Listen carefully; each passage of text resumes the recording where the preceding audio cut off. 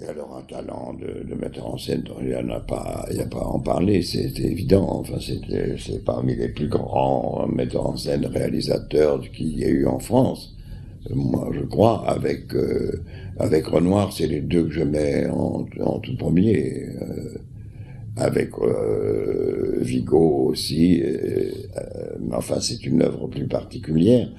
Enfin, c'est c'est les, grands grands c'est les grands maîtres imagiers, quoi, les, grands maîtres euh, dominants complètement, par la plasticité, euh, sachant, donner une image à la, beauté de la vie, euh,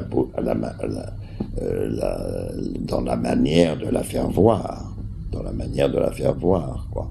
Que ce soit la mer dans Remorque ou que ce soit, je veux dire, la, peinture, par exemple, dans, dans Lumière d'été, que ce soit, euh, que ce soit euh, euh, dans Pâte Blanche, une espèce de côté, comment dire, mer mêlée de, de, de, de, choses, de choses, je veux dire,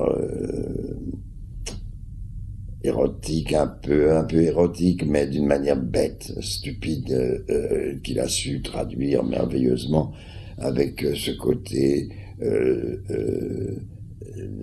haine, comme ça, des personnages entre eux, haine, accompagnant, accompagnant cette espèce de de désordre que représente la présence de la mer près de la lande, comme ça, près de la terre, mm. cette espèce de, de, de toy boy, euh, comme ça, très, très curieux. Et, et, et, il m'a donné ce, ce, ce rôle du, du, bâtard, qui est un très beau, très beau personnage.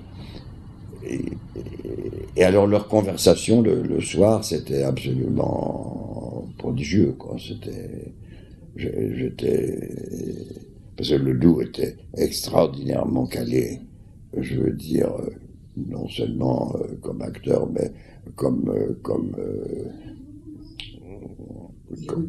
érudit, euh, oui, une, une, profonde connaissance de toute la grande littérature théâtrale classique, de toute la littérature classique, quoi, une grande grande connaissance de, de de, de, de, la peinture. Alors, ils connaissaient la peinture comme les Belges savent la, quand ils la connaissent, ils savent la connaître. Le, surréalisme et tout ça, toute cette, toute cette époque. Et pas, euh, il, nageait là-dedans comme, euh, comme euh, dans un terrain euh, absolument connu de A à Z.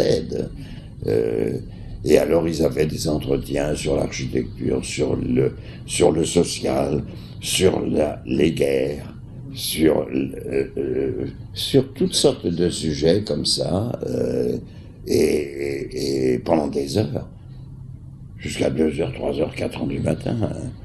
Et c'était vraiment mais fascinant, euh, incroyable.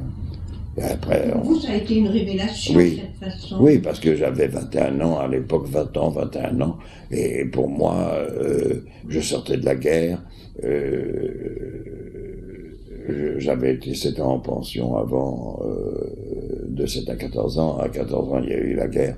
Et j'ai eu, euh, j'ai travaillé euh, comme pâtissier, comme ça, tout ça. Et, et, et donc, j'étais, comment dirais-je, avec un, avec un petit certificat d'études primaires, quoi. Euh, voilà.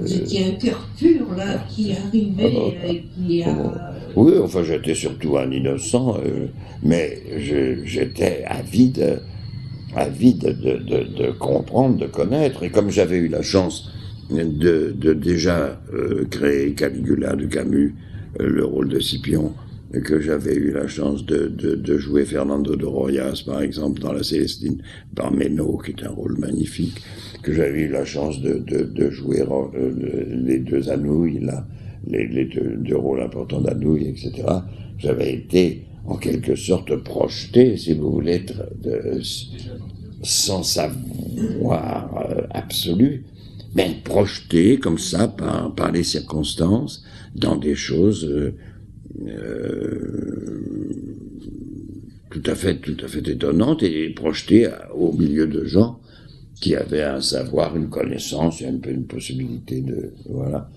extraordinaire de, rencontre quoi. Euh, et j'ai été, je n'ai pas perdu une seconde de cet enseignement. Je n'ai pas, pas perdu une seconde de toutes les choses qui ont été